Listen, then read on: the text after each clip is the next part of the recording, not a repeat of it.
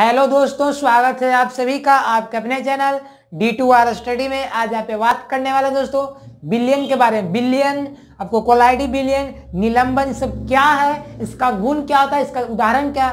सारे बातों का क्लियर करेंगे, ठीक है? इससे जुड़े ऑब्जेक्टिव आपको सब क्लियर करूँगा। तो चलिए, प्रारंभ करते हैं आज के समय क्लास को। तो सबसे पहला बिलियन जैसे हम लोग देखे चीनी का बिलियन पढ़ते हैं, नमक का बिलियन रहता है ना आपको घर में तो देखोगे दैनिक जीवन में। तो बिलियन हमारा है तो बिलियन आपको दो तरह का मिलता है। एक आपको मिलेगा समांगी और एक बी समांगी। समांगी का मतलब सब अंग से समान, जैसे चीनी। देखिए, पहले मैं लिख देता हूँ, ठीक है? आप चीनी का देखें ना बिलियन? चीनी का बिलियन जिसमें पानी रहता है, उसमें चीनी मिला देते हैं। तो बिलियन की तरह बन जाता है। तो वो एक समांगी होता है, एक बी समांगी होता है, ठीक है? तो हम लोग को दो तरह का पढ़ना है। उस तरह, दोनों तरह का पढ़ेंगे आज। तो पहले हमारा क्या है? बिलियन। बिलियन को अंग्रेज़ी में बोलते हैं सोल्यूशन क्या है? Solution billion. ये हम लोग कितना टाइप का पढ़ना है? दो टाइप का। पहला क्या पढ़ना है? शमांगी विलियन। शमांगी मतलब सब अंग से समान। एक क्या पढ़ना है? बी शमांगी विलियन। बी समांगी मतलब उसका अंग भिन्न भिन्न हो, ठीक है? यानी कि देखे ना, देखने पर एक जैसा लगे। मैंने ये चीनी हाँ मान लीजिए आप चीनी लेते हैं शरबत वाला। तो मान लीजिए ऊपर से उठाते हैं एक चम्मच तो आप उसका स्वाद लेते तो क्या मीठा लगता है? अब मैं नीचे से उठाते हैं तो उसका स्वाद सग एक लगता है। ये नहीं कि ऊपर वाला ज़्यादा मीठा, नीचे वाला कम मीठा है। पूरा घोर के देते छोड़ देते हैं, उस पर कहीं से आप एक चम्मच उठाइए, आपको मीठा ही लगेगा, जितना सबसे लगता है। यानी कि चीनी का जो बिलन समांगी है, ठीक है? देखने में लगता है ना कि पूरा पानी जैसा, ये नहीं कि एक जगह ज़्यादा पानी एक जगह ज़्यादा मीठा है जगह कम, ऐसे नहीं रहता। वो समांगी होता है, एक भी समांगी समांगी में हम लोगों को पढ़ना है वास्तविक बिलियन सिंपल सोल्यूशन, वास्तविक बिलियन साधारण भी वास्तविक इसमें आपको पढ़ना दो तरह का, ठीक है? इसमें आपको दो टाइप है। पहला आपका है कोलाइड या कोलाइड कोलाइडी बिलियन भी बोलते हैं इसको। दूसरा आपको है निलंबन। सस्पेंस निलंबन हो गया, ठीक है? आप देने के दो तरह का पेपर पढ़ना है। तो सबको पढ़े, पहले बिलियन हम लोग पढ़ ले बिलियन है क्या भाई? देखिए, बिलियन बोलिए तो वास्तविक, दोनों बात बराबर है, ठीक है? बिलियन या वास्तविक, दोनों एक ही चीज़ है। अब विषामांगी बिलियन, आपको दो चीज़ है तो दोनों को पढ़ेंगे। पहले परिभाषा सबका देखते हैं गुना देखिए अब मान हमको चीनी से एग्ज़ाम्पल देता हूँ। चीनी और पानी का बिलियन से परिभाषा हो जाए क्लियर चीनी और पानी में क्या देखते हैं? एक तो आपका क्या है? चीनी है। एक क्या है? पानी है। तो चीनी और पानी में क्या है? तो हम लोग बोल सकते आपको तो दो, यहाँ पे दो अवयव है कंपोनेंट आपको तीन भी रह सकता है, तीन से अधिक भी रह सकता है, चार भी रह सकता है, कुछ भी रह सकता है। तो बिलियन क्या परिभाषा बोलेंगे कि दो या दो से अधिक पदार्थों का समांगी मिश्रण बिलियन कहलाता है। वास्तविक बिलियन क्या बोलेंगे? दो या दो से अधिक पदार्थों का समांगी बिलियन क्या है? वास्तविक बिलियन कहलाता है। समझ गए बात को? तो उसमें तो समांग समांगी बस याद रखिएगा कि बिलियन जो होगा, समांगी होगा। ये दोनों भी समांगी होगा। तो परिभाषा लिखते पहले बिलियन का, फिर सबका परिभाषा, फिर सबका गुण, फिर बिलियन का मैं गुण लिखता हूँ अभी। सबको एक्सप्लेनेशन करते चलेंगे आज।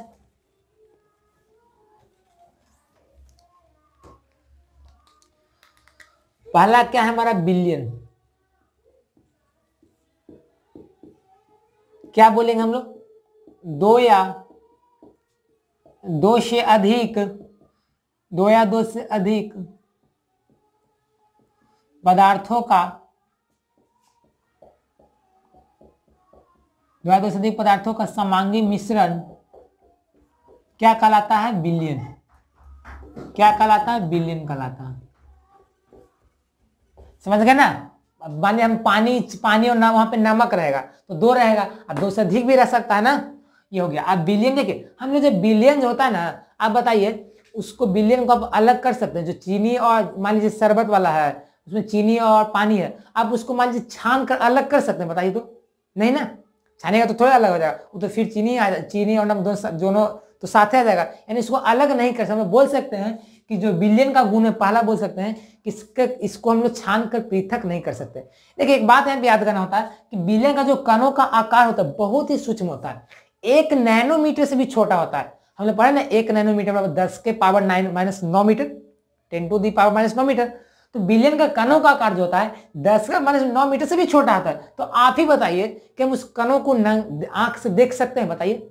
नहीं देखेंगे? अरे यार, बहुत छोटा है तो कैसे देखेंगे? अब वाले चीनी में रहता है नमक पानी और चीनी वाला बिलियन में, उसमें कणों को देख सकते हैं नहीं देख सकते। यानी कि बोल सकते हैं कि बिलियन वाला में इसके कणों को नंगी आँखों से नहीं देख सकते। हो गया?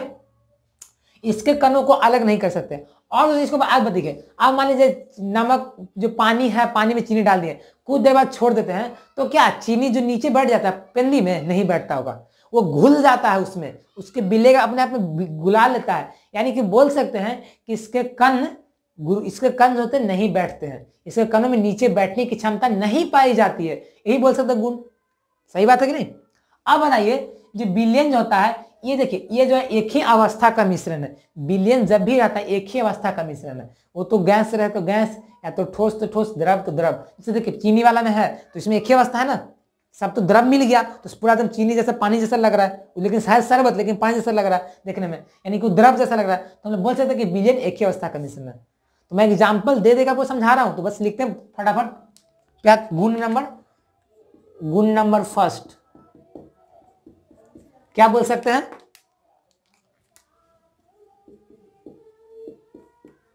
इसके कणों का,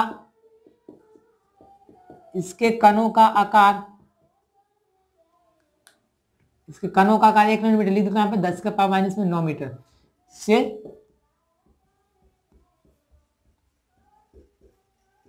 छोटा होता है। बात सही है? सेकंड, मैंने क्या बोला हूँ? कि इसके ये एक ही अवस्था का मिश्रण होता है। चीनी, अब मैं बताया ना, शरबत वाला उदाहरण देके, ये एक ही, यह एक ही अवस्था का मिश्रण होता है। मैंने बोला इसको कणों को छान कर पृथक नहीं कर सकते तो बोल सकते हैं, इसे के कणों को छान कर पृथक नहीं कर सकते हैं। और क्या मैंने बताया दोस्तों? कि इसके जो कण होता है, नीचे नहीं बैठता, छोड़ देने पर देरी देर कुछ समय बाद। तो बोल सकते हैं इसके कणों में, इसके कणों में नीचे बैठने की क्षमता नहीं होती है। यही बोल सकते गुरुत्व के प्रभाव में नहीं बढ़ता है ना निस्यंदन के प्रभाव में। हो जाएगा? आप बता दो किसी कनों को हम नंगी आँखों से नहीं देख सकते नहीं देख सकते, बात सही है। तो हम बोल सकते हैं क्या? इसके कनों को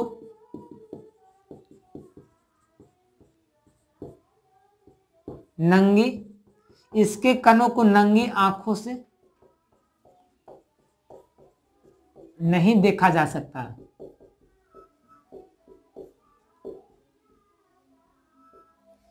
ठीक है? यानी कि पाँच गुण हमारा क्लियर हो गया। समझ गए बात को? कोई दिक्कत नहीं ना? अब यहाँ से देखिए एग्ज़ाम्पल ले लेते हैं। चीनी का बिलियन हो गया हमारा। सही बात है? नमक का बिलियन बहुत सारा बिलियन आप ले सकते हैं। तो यहाँ से बन जाएगा। अब देखिए बिलियन हमारा हो गया ना बिलियन में। बिलियन में आपका परिणाम क्या? निलम, क्या पढ़ना है? निलंबन। कोलाइडी बिलियन पढ़ेंगे ना? तो कोलाइडी बिलियन का हेडिंग ले लेते हैं।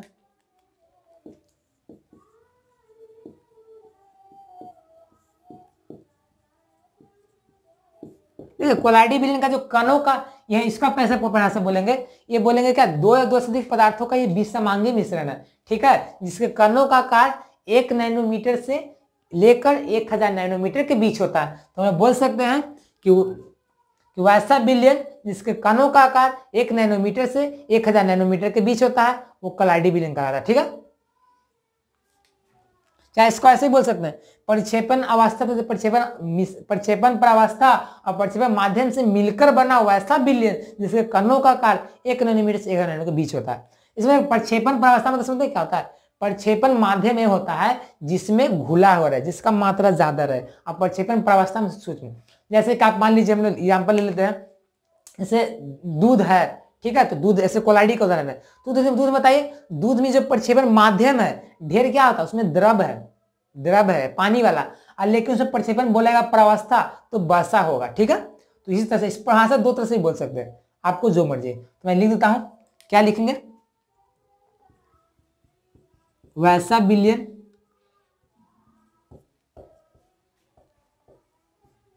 जिसके कणों का आकार एक नैनोमीटर से लेकर एक हज़ार नैनोमीटर के।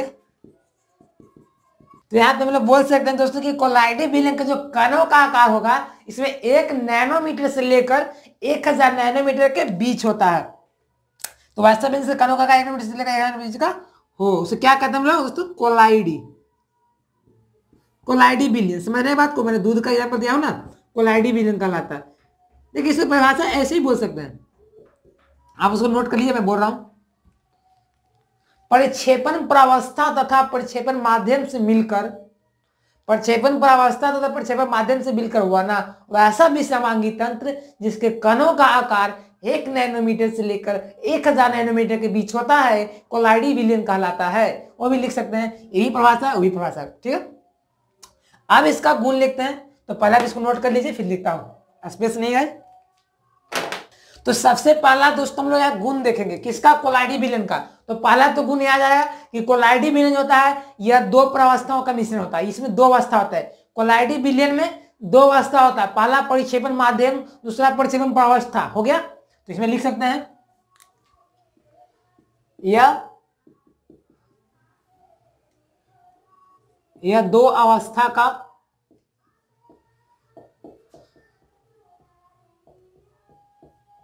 मिश्रण होता है। देखिए, जो कोलाइटी बिलियन जो होता है ना दोस्तों, ये निस्यंदन के फल से नीचे बैठ जाएगा।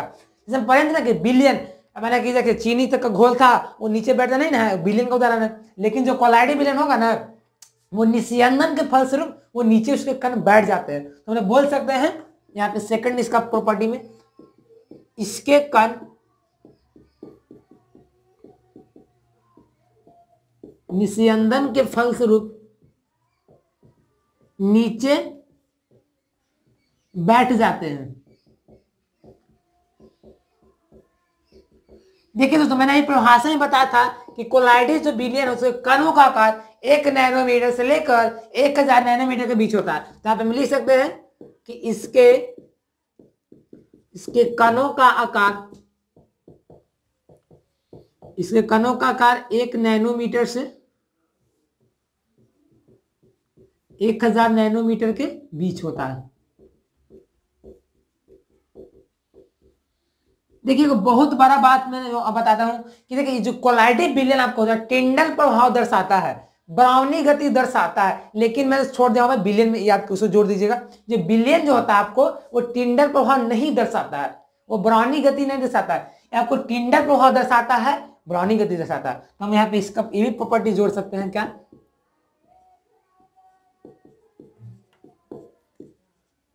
यह बिलियन में समझते हैं, इसका होगा, यह यह टिंडल प्रभाव तथा तथा ब्राउनी गति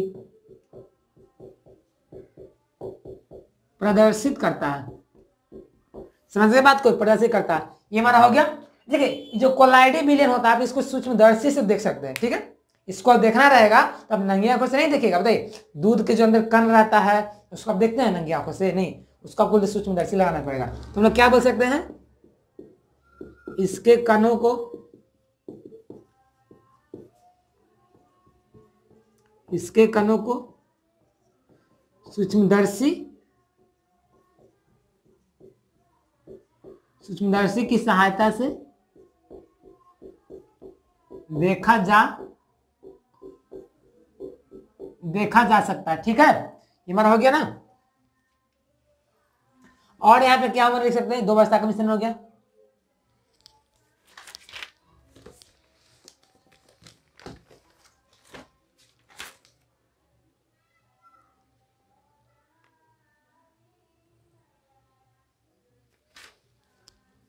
और यहाँ पे हम लिख सकते हैं दोस्तों कि इसकी जो प्रकृति जो थी, बीसा मांगी। मैंने बताया था ना कि कोलाइडी बिलियन बीसा मांगी होता है। तो इसके, इसकी प्रकृति जो है आपका क्या? इसकी प्रकृति बीसमांगी होती है। जो बिलियन का क्या था? समांगी बीसमांगी होती है। ये हमारा बिलियन का गुण हो गया। यानी कि बिलियन का ऑब्जेक्टिव यहाँ से भी हो सकता है। क्लियर ठीक है? अब हम लोग क्या रहता है? कोलाइडी बिलियन तो कोलाइडी कोलाइडी हो गया क्लियर ना अब निलंबन तो निलंबन का जो कणों का आकार होता है इसको लगता है एक हज़ार नैनोमीटर से बड़ा होता है। तो हम लोग बोल सकते हैं निलंबन की परिभाषा भी कि वैसा बिलियन या वैसा समांगी वैसा समांगी मिश्रण जिसके कणों का आकार एक हज़ार नैनोमीटर से बड़ा होता है। तो बोल सकते हैं। अब उसका गुण देख लेते हैं हम लोग, यहाँ पे लिख देता हूँ। क्या आ जाएगा? ये हम यहाँ पे समझ रहे हैं, यहाँ पे निलंबन का गुण लिख देता हूँ। देखिए, आप लोग देखते होंगे ना, दूध होता है स्टार्च होता है, रबड़ होता है जिलेटिन ये सब जो है आपका कोलाइडी का उदाहरण है। आपका जो रक्त है ना, हिम, जिसमें होमोग्लोबिन पाया जाता है, वो रक्त है, वो भी आपका कोलाइडी बिलियन का उदाहरण है। ये बात याद रखिएगा। जैसे आप इसका बहुत सारा उपयोग होता है, जैसे डेल्टा बनता है तो वो भी आपका कोलाइडी बिलियन का उदाहरण है। जैसे आपको जो सेंट देखोगे फोम बोलते हैं, वो भी आपका कोलाइडी बिलियन का उदाहरण है। जैसे आपका धुआँ देखोगे धुआँ, आँसू, कुहासा, ये सब जो आपका क्या, कोलाइडी बिलियन का उदाहरण है। समझ रहे बात को? सॉल है, वो आपका कोलाइडी बिलियन का उदाहरण है। पनीर है, दही है, दूध है, ये सब आपका जो कोलाइडी सोल्यूशन का उदाहरण है। समझ रहे हम लोग देखते हैं निलंबन। सस्पेंशन निलंबन का पहले देख लेते हैं गुण। देखिए, निलंबन का पहला गुण क्या है? इसके कणों का आकार एक हज़ार नैनोमीटर से बड़ा होता है। हो जाए तुम यहाँ पे लिख सकते हैं।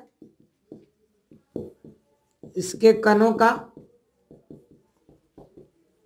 इसके कणों का आकार एक हज़ार नैनोमीटर से बड़ा होता है। और देखिए यहाँ पे दोस्तों जो देखिए, नीलांबन जो होता है, इसकी जो प्रकृति भी बीस मांगी होता है, ठीक है? तुम लोग भी लिख सकते हैं। इसकी प्रकृति इसकी प्रकृति बीस मांगी होती है। हो जाएगा? समझ बात को? आ देखिए, इसको जो देखिए दोस्तों, यहाँ पे जो निलंबन जो होता है, उसके कण को हम लोग नंगी आँखों से देख सकते हैं। आप सोच सकते हैं कि इसका कण का आकार एक हज़ार नैनोमीटर से बड़ा है तो हम लोग देख ही सकते हैं। तो बोल सकते हैं यहाँ पे क्या? कि इसके कणों को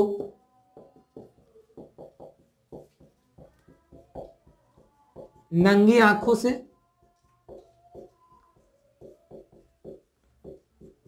देख सकते हैं। देखिए दोस्तों, ये जो निलंबन का जो कण होता है निलंबन से कीचड़। कीचड़ से कीचड़ देखे ना तो कीचड़ निलंबन का उदाहरण, ठीक है? जैसे बालू का मिश्रण होता है, बालू से पानी में बालू रहता है घोला हुआ, वही निलंबन का उदाहरण है। तो जो निलंबन के जो कण होते हैं, वो क्या होते हैं? गुरुत्व के प्रभाव में बैठ जाएँगे, ठीक है? समझ रहे हैं? कोलाइडी विलियन का तो निस्संदन के प्रभाव में बैठता था, लेकिन विलियन का बैठता ही नहीं था, लेकिन निलंबन का गुरुत्व के प्रभाव में बैठ जाता है। तो बोल सकते हैं क्या? कि इसके इसके कण गुरुत्व के प्रभाव में बैठ जाते हैं, ठीक है?